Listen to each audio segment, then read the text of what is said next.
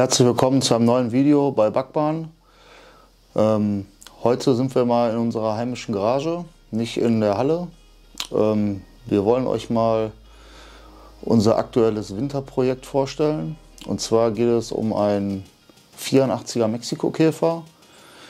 Ja, den wollen wir euch mal zeigen, was wir da so alles gemacht haben. Das Projekt geht jetzt schon ein bisschen länger. Wir haben den 2019 gekauft. Ähm, hin und wieder was dran gemacht. Zieht sich jetzt so über ein paar Jahre, weil wir immer so ein paar Projekte dazwischen hatten. Wir haben letzten Winter hier zu Hause angefangen, ihn zu schweißen und ein bisschen umzubauen. Und ähm, ja, im Sommer kam halt wieder was Neues dazu. Aber jetzt geht es halt weiter bei dem Projekt und wir wollen euch mal den Stand zeigen, was wir gemacht haben und was wir noch vorhaben.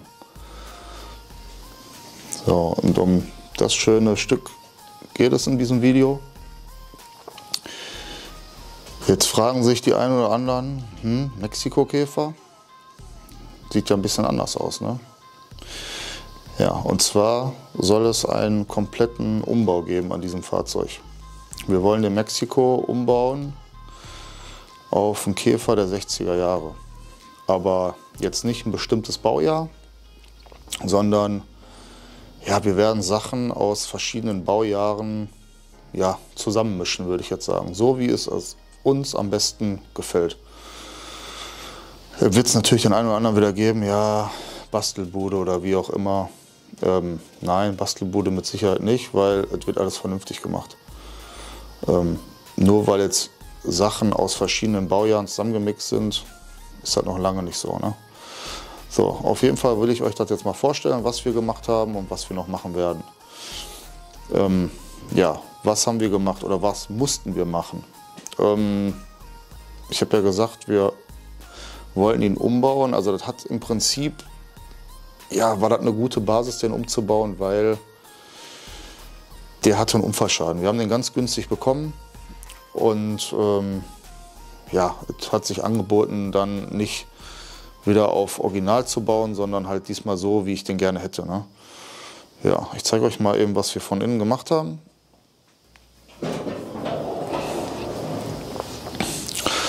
So, was gehört zu dem Umbau?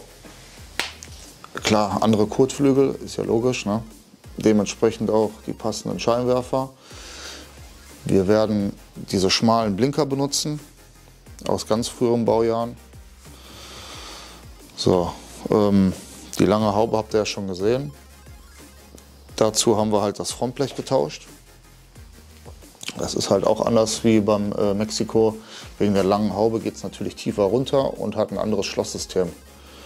Bei dem Mexiko ist das eher hier so liegend, weil die Haube auch kürzer ist. Das ist ein anderes Schloss. Ähm, hier geht der Haubenzug rechts entlang. Da muss jetzt noch ein Rohr gemacht werden, wo es drin läuft. Und geht dann, geht dann hier vorne, muss ich noch ein Loch bohren, da geht es dann durch. Beim Mexiko-Käfer hat man das im Prinzip, den Haubenzug hier innen liegend und geht dann hoch zum Handschuhfach. Was haben wir noch direkt umgebaut? Wir haben einen anderen Tank genommen. Wie es auch früher üblich war oder wie es halt früher war, die Betankung von, von hier innen. Bei den jüngeren Baujahren, also bei den Mexiko-Käfern, ähm, ja gut, nicht unbedingt Mexiko-Käfern, aber bei den jüngeren Baujahren, ähm, kommt die Betankung halt hier über den Tank Tankstutzen, läuft hier rüber nach außen äh, und hat dann einen Tankanschluss außen wie bei den modernen Autos. Ne? Habe ich halt zugemacht, weil ich da, wie gesagt, man sollte halt nicht sofort sehen, dass ein Umbau ist. Das wird noch alles schön beigespachtelt.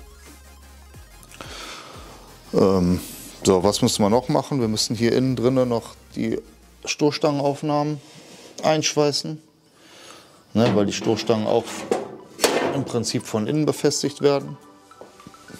Durch diese Löcher hier. Bei den neueren Modellen würde es hier durchkommen, dann von, von außen hier. Ähm, ja, ich zeige euch mal, wir mussten halt die kompletten Seitenteile habe ich getauscht. Also das, das Seitenteil und auf der anderen Seite sind aber Originale aus der Mexiko-Produktion, also keine Repro. Dann habe ich hier, da war so eine Öffnung fürs Schloss. Es gab wohl eine, ähm, eine Modellreihe in den 90ern, wo da ein Schloss war mit Schlüssel für eine Alarmanlage. Habe ich zugemacht. Hier oben habe ich die Antenne zugemacht. Und hier habe ich äh, die Spiegel zugemacht, die Aufnahme für die Spiegel. Weil wir für das alte System hier ähm, eine Antenne hinbauen und hier ein Schwanenhalsspiegel nennt sich das. Ich zeige euch das mal. Das mal hier aufgebaut. Und zwar ist das die Antenne. So eine Zwei-Fuß-Antenne. Die kommt dann hier an die Seite dran. Muss dann zwei Löcher bohren und kommt die da so dran. Jetzt ist die Frage, mache ich die gerade dran oder mache ich die so ein bisschen schräg, sodass die Antenne hier oben zum Dach hinläuft. Ja, es gibt halt verschiedene Möglichkeiten. Ähm, ja, weiß ich noch nicht genau. Könnt ihr mal in den Kommentaren schreiben, was, was ihr am besten findet oder was ihr gemacht habt oder bei welcher Baureihe das so ist und bei welcher so. Aber ich habe schon beide Varianten gesehen. So. Dann ist das der Spiegel hier, der Schwanenhals. Der kommt dann hier vorne an die Seite dran, in, in dem Loch hier. So. Und in Verbindung mit den dicken Leisten geht es dann hier weiter bis hinten hindurch. Ja. So. Dann haben wir auch noch ein altes Tacho, werden wir auch umbauen. Das Mexiko-Käfer-Tacho sieht auch anders aus. Äh, ja, was haben wir noch? Die Rückleuchten. Kommen natürlich auch andere dran. Ähm, ja, sind diese eierförmigen Rücklichter. Ähm, Im Rot ist eigentlich so US-Produktion, meine ich. Ähm, ja, ist für meinen Bau ja eigentlich, glaube ich, nicht erlaubt, weil wegen der Blinkerfarbe auch unter anderem und ja, kein Rücklichtstrahler, also für Rückwärtsgang halt. Ja, aber die werde ich erstmal dran bauen. Für den TÜV werde ich dann mit Blinker hier oben machen. Ganz normal in äh, Orange. Ja, und dann schauen wir mal, was der TÜV sagt. Ne? Hm, was haben wir noch gemacht, verändert? Wir haben hier das originale Lüftungssystem. Beim Käfer kommt ja hier hinten aus der Ecke ein Heizschlauch hoch, ähm, der vom Warmluftkanal äh, auskommt und vom Warmluftkanal geht, der geht nach hinten zum Motor und dadurch kommt halt die warme Luft nach vorne. Ähm, bei dem Mexiko ist das halt mit so einem Dreiersystem. Wird halt, äh, ja, einer geht nach oben zur, zur Ecke der Scheibe und dann geht der Rest wird hier vorne verteilt in so einem Kastensystem. Ähm, das mache ich aber weg, weil wie gesagt, auf alte Optik da gibt es das nicht.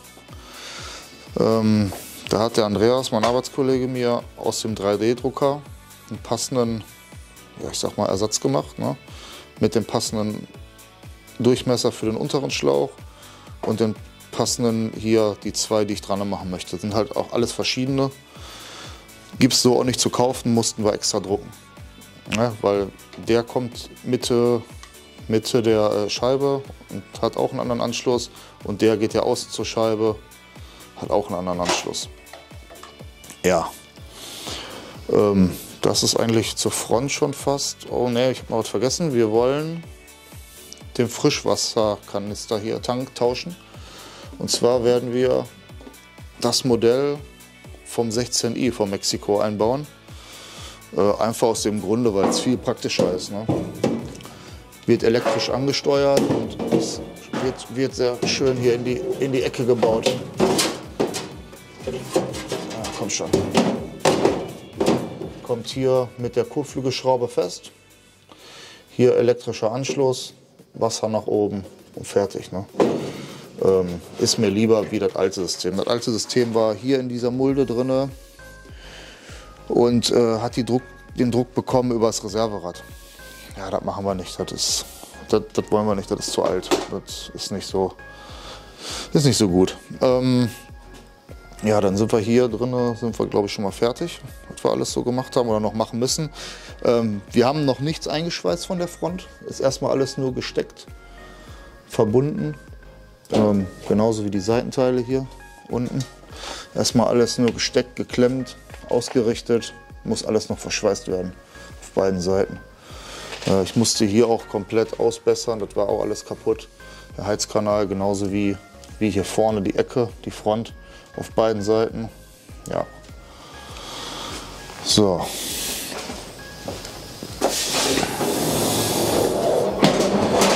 Hier haben wir noch das originale schöne Emblem. Müssen wir mal eventuell aufpolieren. So, dann habe ich hier, musste ich die Ecke ausbessern vom Scheibenwischer, wo das Gestänge durchkommt, war auch kaputt.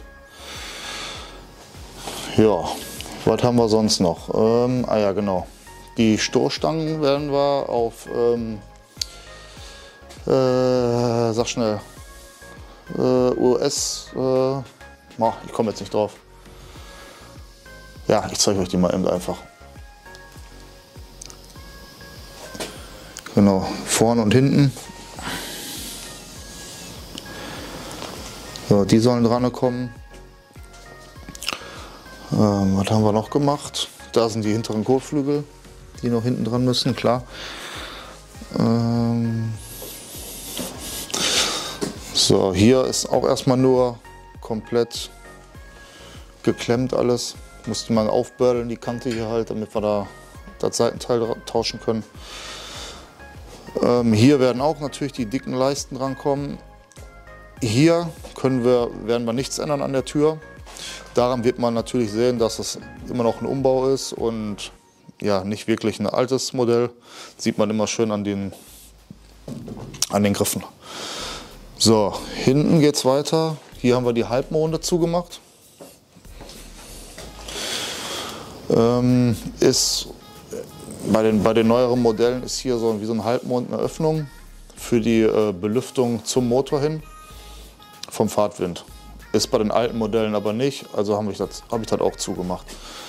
So, dann haben wir noch ein paar, ja, ein paar Stellen zumachen müssen, ja, was man alles so kennt. Ne?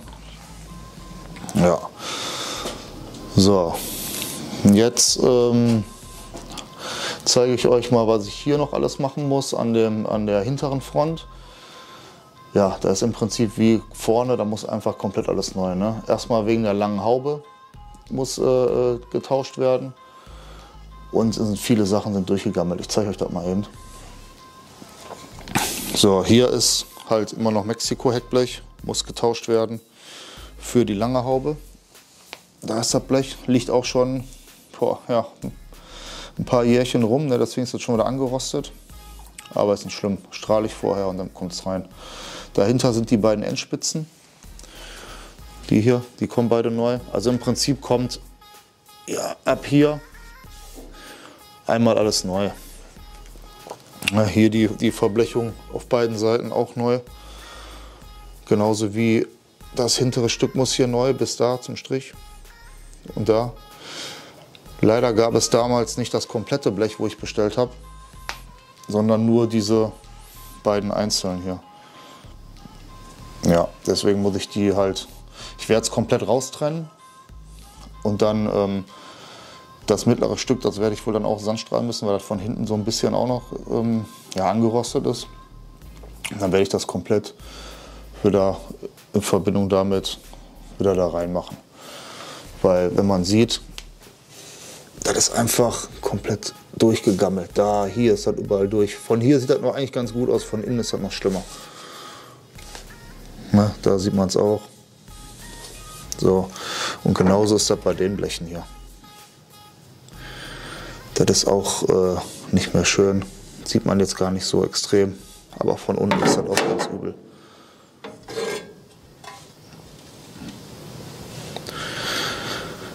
Das ist alles nicht mehr so schön. Ja, die beiden kommen auf jeden Fall neu. Ja, das kommt neu. Die beiden Ecken neu. Und der Bogen, ja, in der Mitte bleibt, aber außen halt neu. So, und dann machen wir die andere Haube dran. So, da werde ich auf die kleine Nase bauen, obwohl die eigentlich nicht zu der Haube gehört, aber mir gefällt es einfach besser. Ne? ich baue das Ding ja so, wie es mir gefällt und nicht, ja, wie es dem Rest der Welt gefällt, ne? sage ich jetzt mal. Ja, dann gehen wir mal weiter hier, die Ecke nochmal. Hier haben wir auch vieles ausbessern müssen.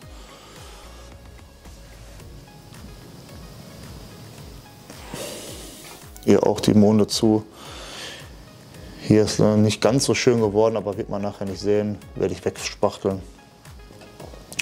Ja, ansonsten haben wir das ganze Häuschen hier äh, komplett blank geschliffen mit Flex. Erstmal den Lack runtergeholt, den alten. Und ja, dann haben wir äh, das mit EP grundiert. So, was haben wir hier noch gemacht? Wir haben hier einen Rahmen reingeschweißt. Zur Stabilisierung. Und zwar, weil, ja, das macht man ja eigentlich, wenn man die Heizkanäle machen muss. Die Heizkanäle sind bei mir zum größten Teil gut gewesen, aber die Deckbleche nicht. Ich habe die Deckbleche komplett rausgemacht und äh, ja, ich wollte halt einfach dann stabil haben, dass da nichts passiert, weil ich musste da hinten die Ecke auch einmal neu machen. Äh, da kommt aber ein gesondertes Video für, zu, wie ich euch da zeige, wie, was ich da gemacht habe und warum ich das machen musste. Ja, und deswegen habe ich hier den Rahmen auch gemacht. Ähm, so, Cockpit, Armaturenbrett besser gesagt, ähm, ist bei dem Modell eigentlich mit Schaumstoff so gepolstert, so Art, ja, sieht optisch aus wie so eine Lederpolsterung. Für die Leute, die jetzt, jetzt nicht sich vorstellen können.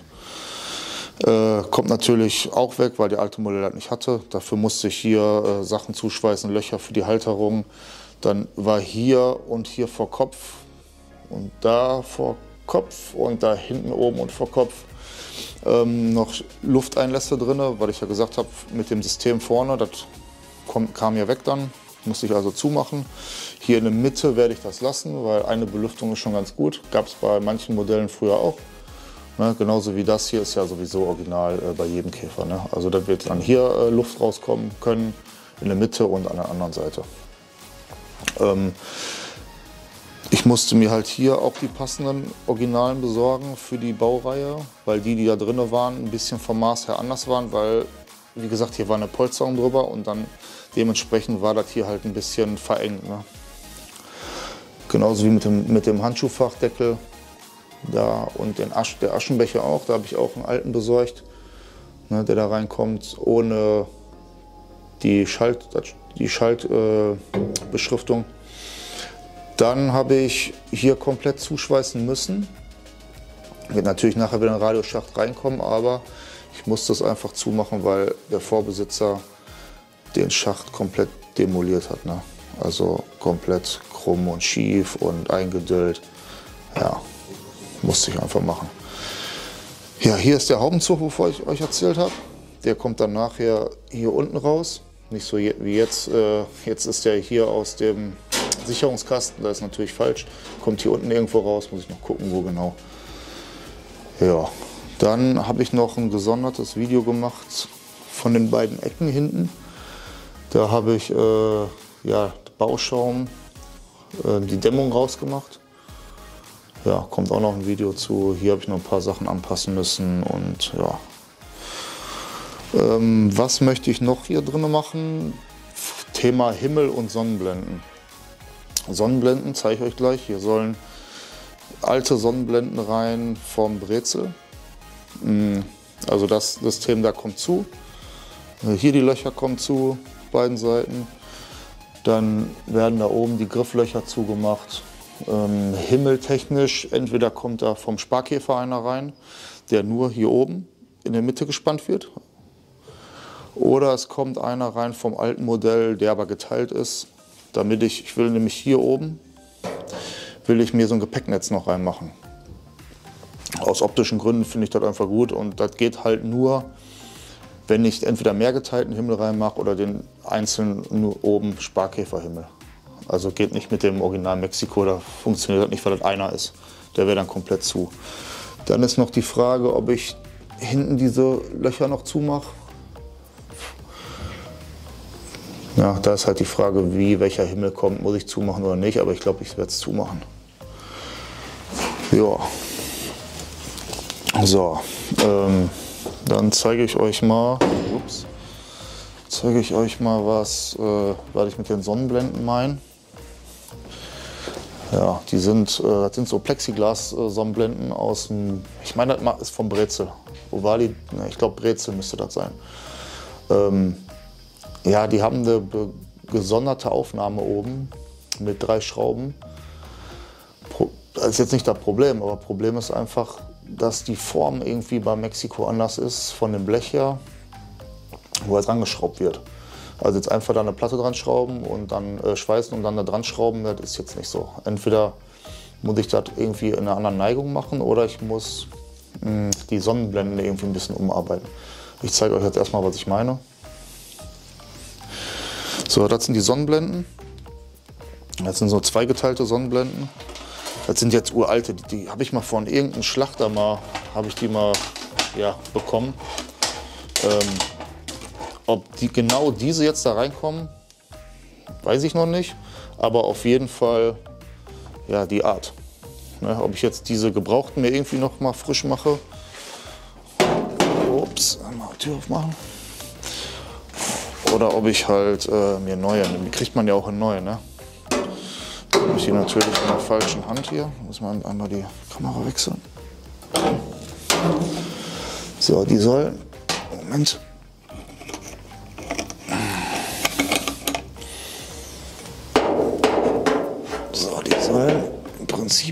Rein.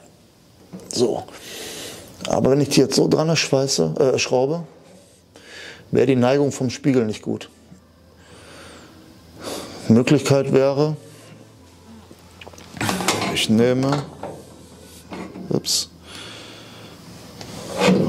ja, genau, man hat hier so Bolzen drin, so Stifte sind das eher. Wenn ich die rausmache, die, die Neigung des Spiegels also verdrehe und wieder neu reinsetze, also Löcher bohre und die dann wieder reinsetze, dann müsste es eigentlich passend gehen. Ja, das ist auf jeden Fall der Plan. Schauen wir mal, wie wir das umsetzen können.